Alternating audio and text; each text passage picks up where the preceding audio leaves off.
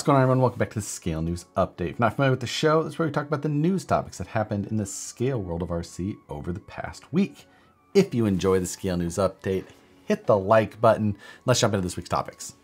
First for this week, X-Rider has released an ARTR version, or almost ready to run version, of their Sagittarius one quarter scale motocross bike. Uh, now, obviously the Losi Pro Moto will be the closest thing that this is competing against. This is 570 bucks. Now it is listed as ARTR, but it does come with the motor, the ESC, a gyro, and two servos, one a standard size and one a mini. You will need your own radio and batteries to make it complete. So it's fairly complete, but not 100% RTR. Beyond that, 570 bucks again. So it's close to that area, but it is a little less than the Losi. As far as like comparison, this is the ARTR version. They've had the kit version out previously. Now the kit version did have some differences in parts, specifically noted uh, in their listing was the addition of an actual functional rear brake in the kit, and that is not in place on this RTR. Don't see a ton of videos or people posting and things like that on the kit version, so not sure how good this may or may not be. If you're just a motorcycle collector, maybe it's worth it. Also, X-Rider makes a number of other motorcycle kits. One, which is the Cafe Racer, I've always liked, never pulled the trigger on though. So if you're interested in this, this is being sold at Asia Tees. That's the only place I can find it currently. It does list it as in stock now. So if you're interested in that, go jump over there. I'll put a link in the description below, as well as links to the rest of today's stories. Next, another treat from Scale Garage Systems. Scale Garage Systems is the shop in Poland and they hand make these absolutely beautiful rack systems. This one is for the Land Rover Series 3, the short version. They showed before their longer version for this same type of Series 3 Land Rover.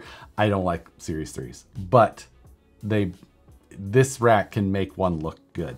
These are all handmade, uh, a mix of like hand formed and laser cut parts all put together, 100% made out of aluminum, not very heavy at all. They make it for a ton of different body styles, but this is their newest and it looks fantastic, just like their photography and their paint skills on these trucks. So cool, so good looking.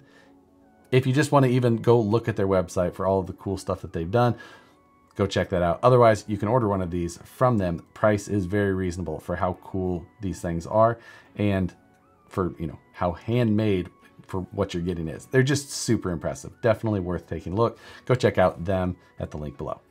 Thanks again to Satisfied Jerky for sponsoring this month of the Scale News Update. If you're interested in saving 10% on Satisfied Jerky, there's a code below, right over here put that below. Also, there's a code Cowboy10 where you can save an additional 10% on the cowboy jerky specifically.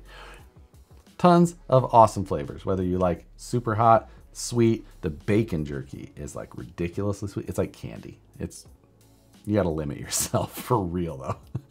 also, anybody who uses the code during this month be entered into a chance to win a little custom Cato House Hornet uh, collaboration with Tamiya. Super awesome little 164 scale. Thanks again to Satisfied Jerky for sponsoring this month of the Scale News Update. Last week I posted about the Moon Buggy build along that I was posting.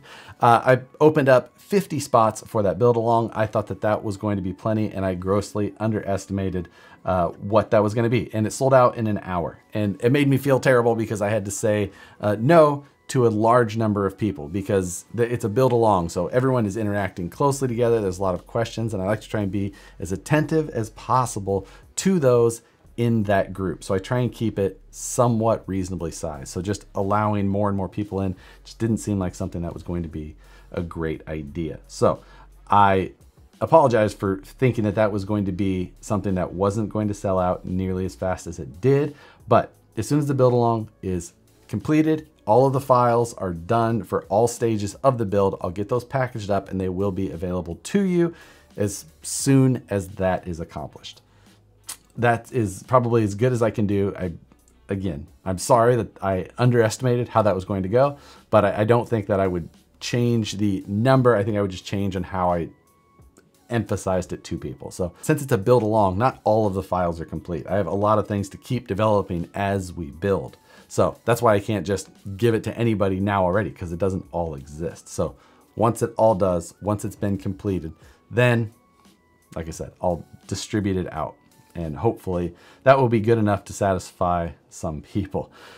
If you're interested in following along more closely with this build or just with the channel in general, I did open channel memberships to the channel. You'll see that below the video. You just say join right next to like where subscribe would be. Sometimes it's not on all iPhones and iPads. Sometimes you have to do it on a desktop. If you're interested, I've been posting just kind of like behind the scenes, 10 to 15 minute long, like, you know, more candid style videos going over in-depth the details and discussions about it. I've posted those, you know, just about every night. If you want to follow along more closely, again, with the channel overall or with the build specifically, check that out. Again, there's a little button below this video. Or if you just want to support the channel or the Scale News Update more, that's a way to do it. If not, no big deal. Speaking of support, after all of the Build Along members joined up and bought a bunch of steel, Stock Car Steel reached out and wanted to extend a discount code to anybody who watches the channel. So if you would like to buy tubing for a project like this or any project you possibly have, you can go to stockcarsteel.com and use the discount code Harley Designs 2415. 24 for the year, 15 for the 15% discount that you can get there. Typical steel that we use is 3 16 inch tube with 035 wall. I've linked down below to that very specific product on their website, which go check that out if you're looking for any of your needs. They sell a ton of tubing and metal of all kinds as well. So you just want to save a little bit next time you're ordering some steel, some aluminum, chromoly, whatever it may be, go check out Stock Car Steel. And thanks to them for reaching out and offering that discount to all of you. Last week, Associated released a 1 7 scale version of the Hoonicorn. Now, we had seen and heard about teases of this platform for quite some time. I think we actually saw photos of the car at SEMA last year in September or October, but it's been officially announced. Now, it is an all new platform and it's going to be very similar to the ARRMAs in a number of ways. Now, people who are deeply involved with the ARRMAs will likely be able to find the small differences here and there, or large differences, whichever they may be, but to a lot of us, it's going to be very similar. The Hoonicorn body is, of course, going to be something that's going to draw people in. Of course, the Hoonigan name itself these days, different than it used to be. But Underneath of that body, you'll find a platform that is set up similar with a mid-mounted motor, shaft drive to a four-wheel drive setup. Does come with belted slick tires. This is a 4 or 6S capable vehicle with dual battery setup. It does still come with Dean's plugs, which seems odd for a vehicle like this. A lot of times these larger scale vehicles run in high amperage you're going to find beefier battery plugs on them. XT90s, EC5s, you know, ones that are capable of handling a lot more amperage. Dean's plugs are pretty low amperage capable connectors. Uh, so that's that's interesting on its own. Uh, beyond that, it was it, the release kind of I think that it's because they already make this Hoonicorn in two different scales. And maybe it just kind of blew past people that it was what it is because it just didn't seem to make huge rounds around social media, things like that. Uh, their video was super short. It didn't really show a ton of the vehicle outperforming. It, you know, it was not an ARRMA level production, of course. Just ARRMA does pretty amazing videos. This was just kind of quick, a few little drifts around and driving under a truck really about it. It just really didn't highlight a ton of the vehicle. It seemed really odd for launching an entire new platform to not have more of a push or more, uh, you know, visibility on the entire project. So not 100% sure there. Be interesting to hear if you guys saw it just naturally around uh, social media. Did you see videos pop up in your YouTube feed? Did you see Instagram posts, Facebook posts from people about the new vehicle, things like that? Be interested to hear just because I feel like I didn't see it myself. It didn't pop up for me almost anywhere. I heard about it in someone else's live stream. So no idea. It seemed just very odd. Be interested to hear what you guys thought or what you saw or if you saw anything yet. New over at AMain, something you don't see over there often, they added a new brand called Goat Guns. These are little scale models, and I've actually got to play around with these at NERSA last year. Goat Guns was at the convention, displaying up there, showing, and they were a lot of fun to play with. Uh, fun little desk toy, or if you've got something large scale, as they are quarter scale, then you could use it as some sort of scale accessory. But if you just want something that, you know, they're functioning, you can, you know, rack them or bolt action, like all, if you're a fan of that world at all, cool little, cool gifts, cool just in general. Go check out all the models they have. There is a ton. I feel like I need a Barrett for my desk. Also new from AMain is they launched a new brand called Upgrade RC. This is a new proprietary in-house brand like EcoPower or ProTek. And Upgrade RC just seems like a pretty generic name in general, but it may seem familiar for more reasons than that. Upgrade RC used to be a brand that made radio and charger skins, you know, chassis skins for the bottom, basically stickers that you put either on a radio or body charger, things like that. And I wondered if there was any connection between them until I was reading the post, saw the name that was attached to it, did some searching and did find that it is, they basically must have purchased the brand and then they're not going to use any of the identity that the brand was before since radio skins.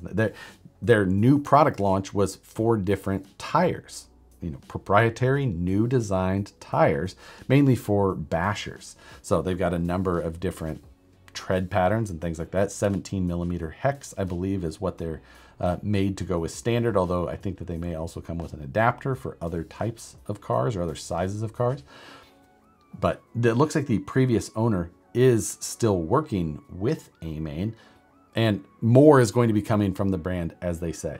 So looks like they really wanted the name and they're going to make it fit with their new vision for it. So be interesting to see what upgrade or AMain, what they've got in mind for their new direction with it. For you Vanquish VRD owners, there was two new chassis I saw pop up this week. One from GMRC, Green Mountain RC. Uh, they've got a Class 1 specific chassis they're calling the Carnivore. And then the Artful Dodgers also released a new chassis this week for it called the Pathfinder.